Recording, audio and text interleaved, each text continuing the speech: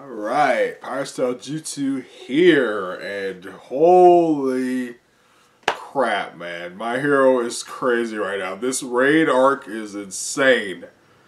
Alright, um, let's get in, let's just keep rolling here. Um, last time we left uh, poor Mirko, she, uh, she's, she's winning, but she did lose a hand, so, uh, yeah, it'll be, but I think we're about to cut away from her, um, you know, because at the end of the last chapter, it ended with a Skeptic, you know, kind of telling everyone, warning everyone a little too late that the heroes are here, and they're bust, they're literally busting down the walls of the mansion. So let's get into chapter 263 of My Hero Academia. Uh, so yeah, here we see. Uh, uh, we see the heroes, the the second team of heroes that are going to the mansion uh, where they're they're outside. Uh, almost time. Uh, get up, grape juice. Oh, and the the chapter is titled uh, "I Wanna Be with You Guys." Okay, so that's 263's chapter. So yeah, get up, grape juice. we see Mineta sitting on a rock. Why? Uh, the rear guard's uh, job is to catch the uh, any bad guys who slip past the front line. That's my Mineta. I'm sticking to it. That's my Mineta impression. Uh, Sero, oh, they still. Uh, so getting all pumped up is actually kind of insulting to the pros, right? Get up. Sero's not having any of Mineta's bullshit. Uh, uh, Jiro's headphone jacks are going into the ground. Uh, so yeah, and she's uh, listening. Oh, and there's this uh this tiger looking dude uh, saying it's starting. What? You said that so casually. So yeah, she's so Jiro's listening. They're on the move. This operation has brought heroes together on an unprecedented scale, but that's no reason to relax just yet. Uh, what the mean, uh, what this means is that we need everyone here to face the massive threat in front of us. So we see uh, Kirishima, Jiro, Mineta, Momo, Sero, Ojiro, Shoji, uh, Ashido. Uh, Hagakure is right next to her. So well, um, it's Sato and Aoyama too in the back. So yeah, it's a, a lot of pretty much all class one A is in this group. So Jiro says not to uh, not too worried about Tokoyami, but what about the Momo uh, puts her hands on her hands on her shoulders. I'm sure he'll be just fine. Here we see Kaminari looking pretty scared. He's kind of run. It looked like he's running, freaked out. I want to be with you guys. So there's the the title of the chapter, spoken by Kaminari. Oh, we got epic.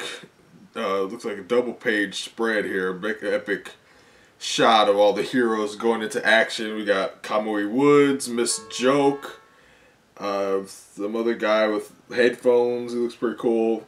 This other guy, he's got like like a cool like body suit type of costume.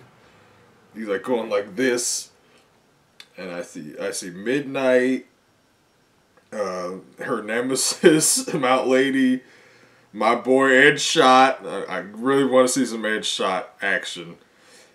Uh, he's he's one of my favorites. Uh, we got some Cementos, Gang Orca. Uh, just a bunch of heroes. Some that I don't recognize all of them, but it's a lot of them. I think that and that's Juzo. I think.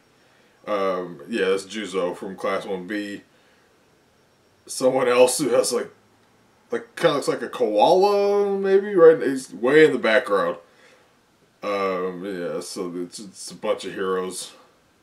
That person kind of looks like Hawks, but that can't be Hawks. I think it's a woman, but yeah, it's just a lot of heroes going into action. Oh, there's uh the other dude I want to see. Um, I forgot. Is, I think it's Lion. I think that's his name. Like he's like he's one of the heroes that the kids um, trained with recently. Yeah, he's uh he's um, it'll be cool to see what he him in action too.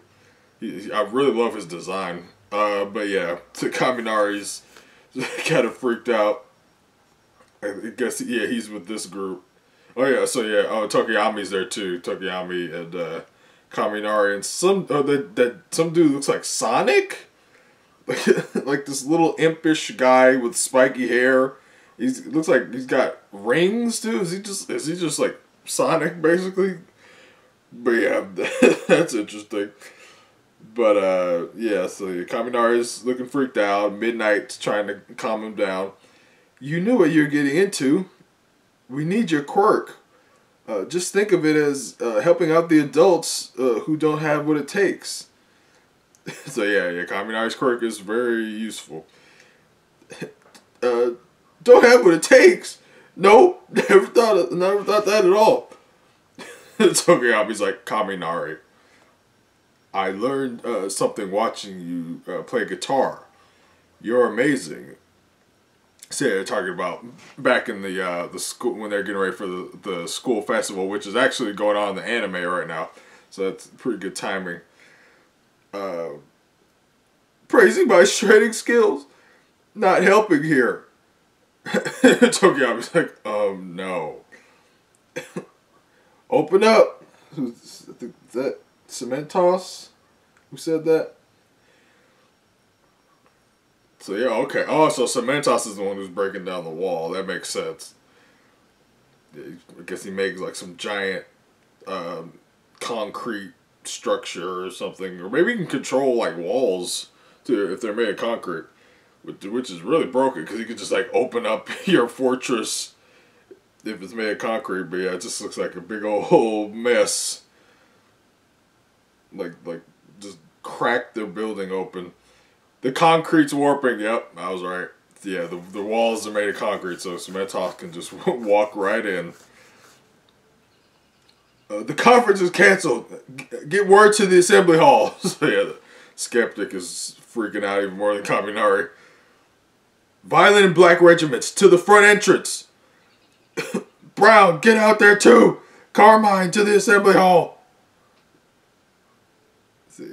Uh, they got us good, Mr. Skeptic. So let's shake things up. okay.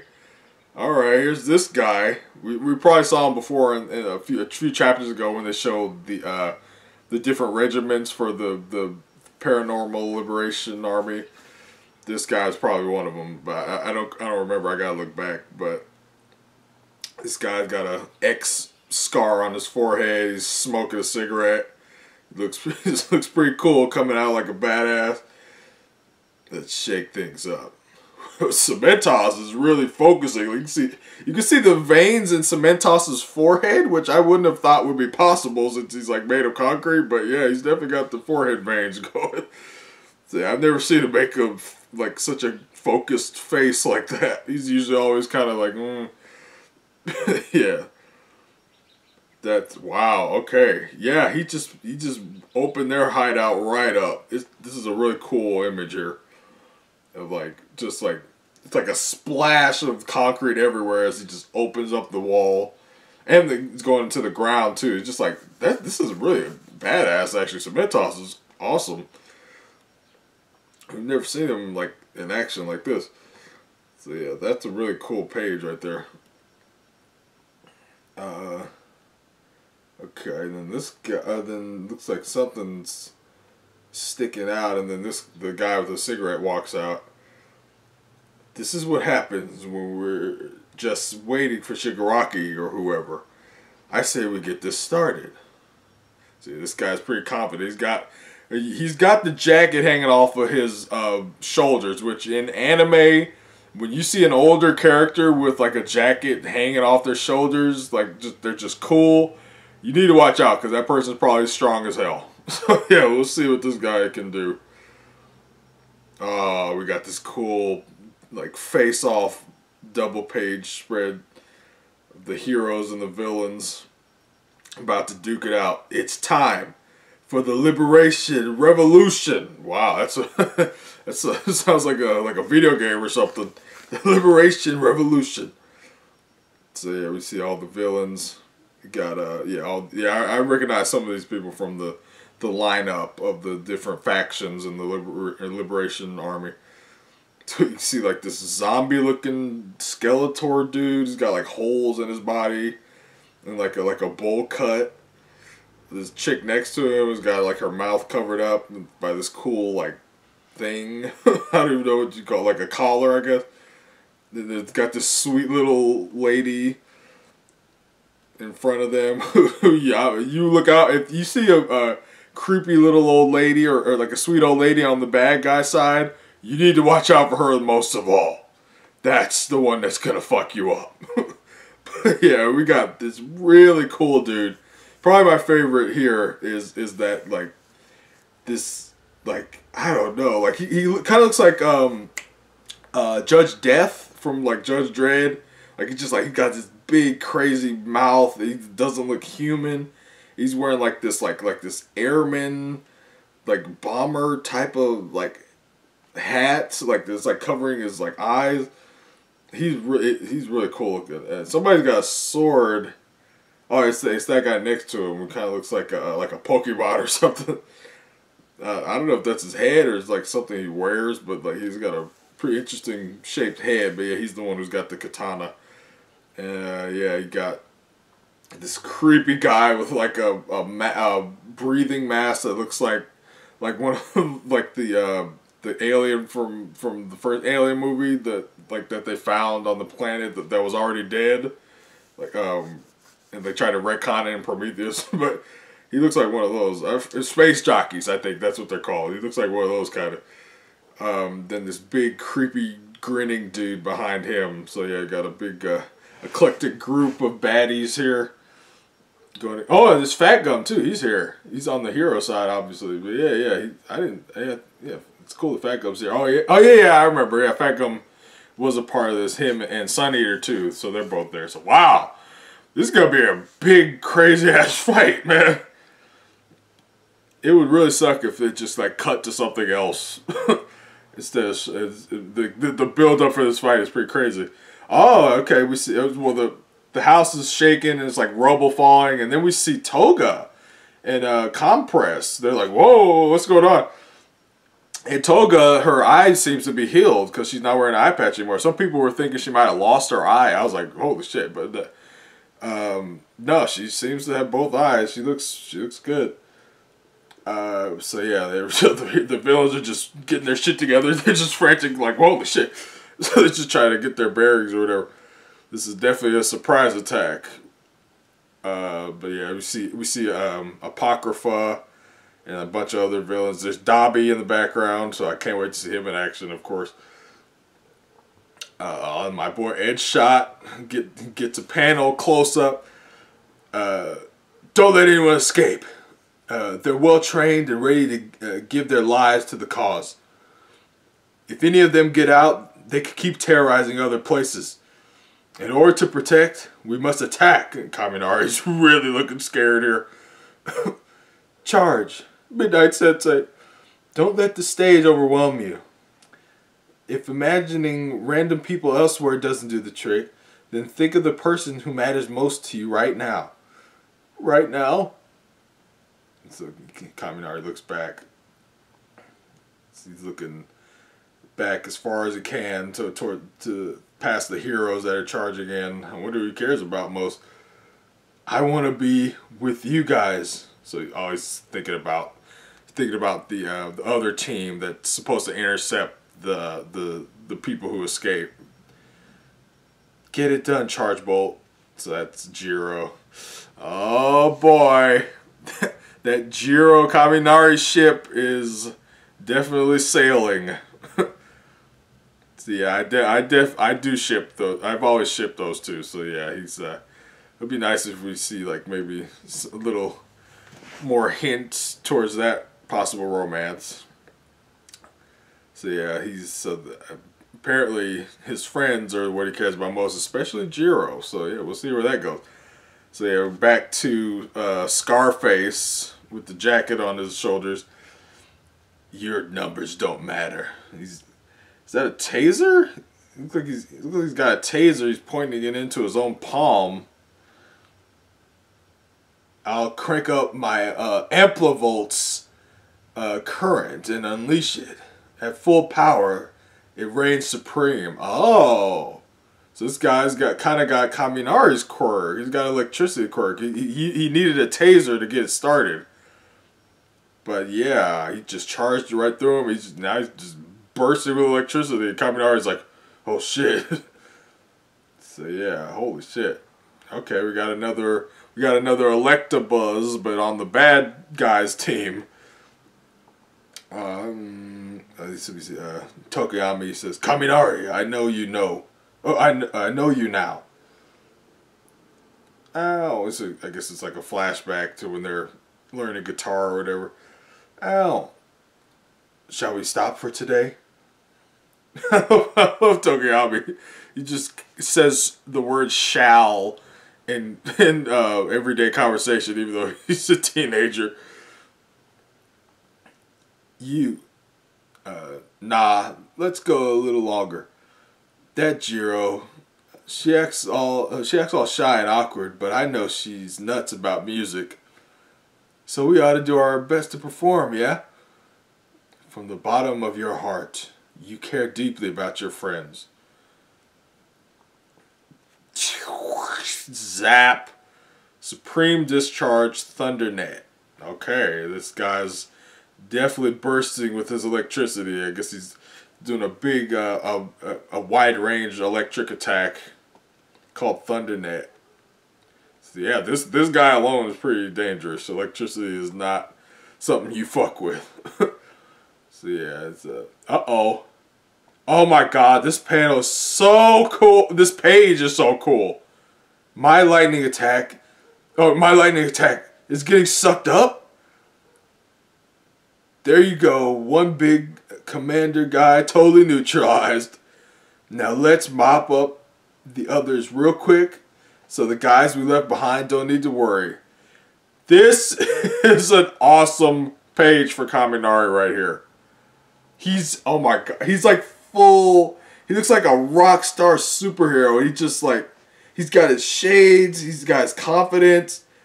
The electricity, he just sucks up this guy's electricity attack with one finger. He's just holding up one finger in the air, posing. And it's like, and his finger is at the top panel of the page. So it's like, and like he's like, he's over all the panels of the pages. Like, to the way it's like drawn, it's like it's really cool because like his his image is like superimposed over the whole page and all the panels. So it's like the top page is his finger, and then it, the middle panel I mean, the top panel is his finger sticking up into it, and electricity sucking into it. And then the middle panel is like a like a far away shot of him, and then the final panel is a is a close up on his pose, but his arm is going through all three of those panels, and like his fingers up. That's really the way this drawn is really cool. That is awesome, man. I've never seen Kaminari look this awesome. This is badass right here. So yeah, th uh, that's cool. It's a buzz.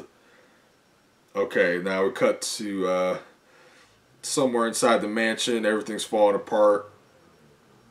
What the heck's going on here? Oh shit!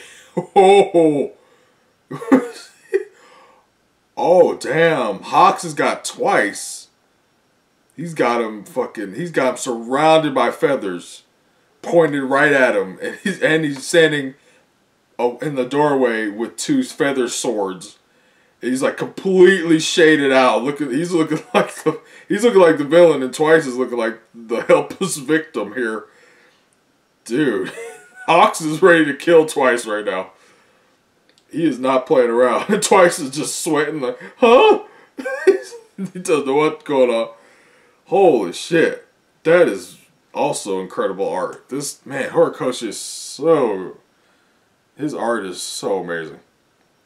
But yeah, that's the end of the chapter. That that was quite a chapter and quite an ending there. Those last two those last two pages are really good. Next chapter hits March 15th. So yeah, oh man, and Hawks' eyes too. He's got the eyes of a hawk. And that's really all you can see because everything else is completely like in shadow. It just it looks like a horror movie almost or horror manga. Like oh, it's really cool. and, and twice is like upside down too. So I guess he he rough, or I guess maybe because the house is like shaking and everything. Twice like fell over and like landed on his head, and then Hawks just took that opportunity to just like completely like enclose him in in feathers. So yeah, we'll see where that goes because they kind of had a little friendship, unless Hawks was just completely acting. But yeah, we'll see. Uh, that that'll be an interesting fight, that's for sure. This this arc is is crazy so far. this this raid arc is just it keeps getting better and better. I was not really prepared for this arc, like or at least not this soon. Like this is like I don't know where this is going. This is this is like I did not expect the heroes in the in this new big villain group to come head to head that quick. And the heroes wanted a surprise attack. Like you know that's why they, they surprised them with you know with um, going to the compound uh, with the surprise attack, and it surprised me too because this is this is going from zero to sixty. like holy shit! Like I don't know where this I don't know where this arc is going now because all I know is it's gonna be just some crazy fights. But uh, yeah, I don't know who's gonna who knows who'll live or die on either side in this arc. We don't who knows what could happen. Who knows when maybe Shigaraki will wake up like maybe he's, he's uh, we don't know exactly how much he has to go. Or we know he has like thirty percent or more like twenty nine percent uh, technically. Last we checked, um, but he might wake up early, and so yeah, I don't know, but yeah, I'll definitely be. I'm definitely reading with bated breath now. So yeah, until the next chapter, uh, this is Pirate Style Jutsu uh, signing out. Don't hurt twice, Hawk. He's a nice boy.